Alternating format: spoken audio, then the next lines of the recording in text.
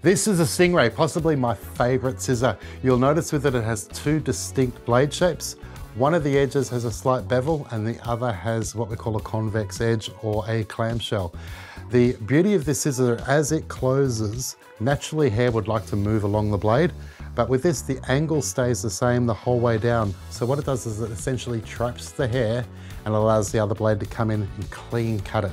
It is our premium blunt cutting scissor and it is an absolute pleasure to work with. You can literally come in and load it to the base of your haircuts and pull the trigger. And as you come through, boom, just clean off.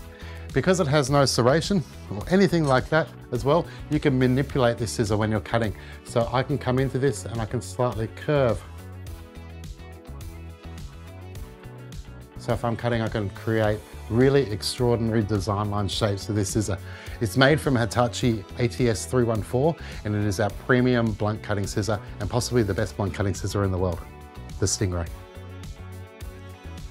I love that scissor. I can talk about that one all day.